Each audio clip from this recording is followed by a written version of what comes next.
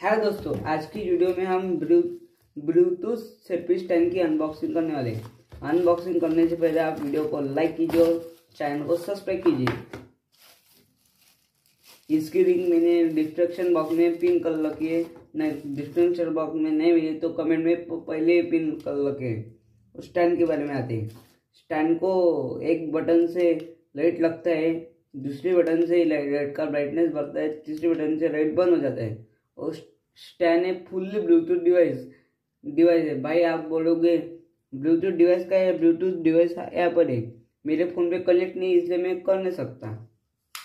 और दूसरी बात क्या क्या आता है? एक मैनुअल दूसरा माइक्रो केबल। चलिए मिलते हैं नेक्स्ट वीडियो में, तब तक के लिए बाय दोस्तों।